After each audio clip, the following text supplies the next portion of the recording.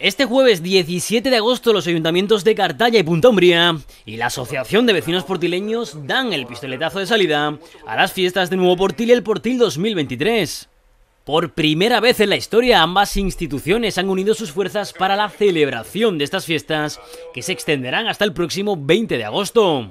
Este año, como gran novedad, se ha conseguido instaurar un recinto fijo para su celebración anual en el término municipal de Punta Umbría.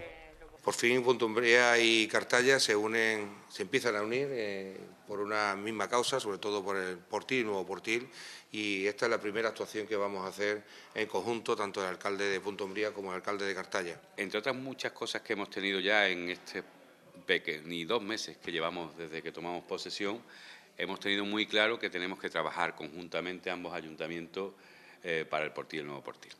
Y eso, en esa primera reunión que tuvimos, de ahí salió este compromiso de crear, de trabajar juntos en las fiestas del Portil y Nuevo Portil, en la feria del Portil y Nuevo Portil, y precisamente por petición de los vecinos entendíamos que el sitio más adecuado para celebrar siempre esa feria era el recinto eh, que cuenta en el término de Punto Ambría el recinto ferial que se ha utilizado otras veces, que es el recinto del Mercadillo. El presidente de la Asociación Vecinal, Prudencio Serrano, por su parte, ha mostrado su agradecimiento a ambos ediles por su implicación y su trabajo en conjunto para brindar los mejores servicios en unas jornadas festivas que serán punto de diversión para portileños y visitantes en los próximos días. Darle las gracias a los dos alcaldes porque el primer compromiso que tuvieron con nosotros, con los vecinos y las vecinas del Portí, era trabajar juntos y hacer todas las líneas de actuación juntos, ambos ayuntamientos.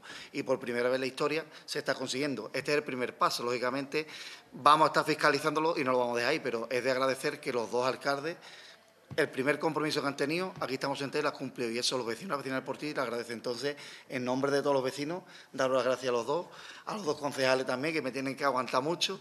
Y lo dicho, si trabajamos juntos, los portileños lo vamos a agradecer, porque como bien ha dicho José Carlos, aunque seamos parte Punta Umbría, parte Cartaya, nosotros somos portileños y que los dos alcaldes de Punta y Cartaya trabajen por los portileños de agradecer.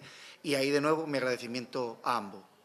Desde este jueves, el Portil y Nuevo Portil volverán a disfrutar de sus fiestas en un 2023 donde estarán más unidos que nunca.